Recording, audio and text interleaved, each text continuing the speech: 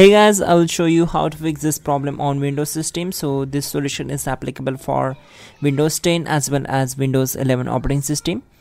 What you have to do is just follow my screen and don't miss any steps. Let's fix this issue together. So first of all just uh, go to search bar and type here cmd then right click here and select run as administrator.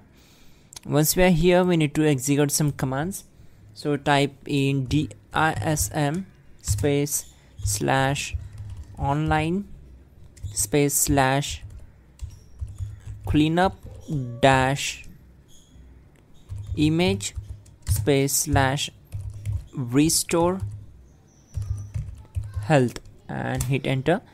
So this processor will take some time to complete the process. Depends upon your computer configuration how fast it is. And after that we will move to the next method. Now type in sfc space slash scan now and hit enter to execute command. So this will also take around 10 to 15 minutes to complete the process. Once done we need to just restart the system and the problem will be solved. You can also check out our pin comment or a description link to fix this issue quickly and effectively. So don't forget to like the video and please do subscribe the channel